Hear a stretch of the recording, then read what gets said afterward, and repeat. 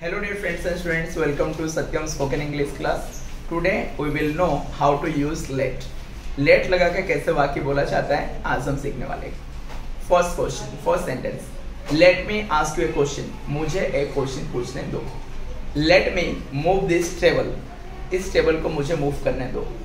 Let me look outside मुझे बाहर देखने दो। Let me ask your name मुझे आपके नाम पूछने दो। Let me clear my doubts मुझे मेरे डाउट्स क्लियर करने दो।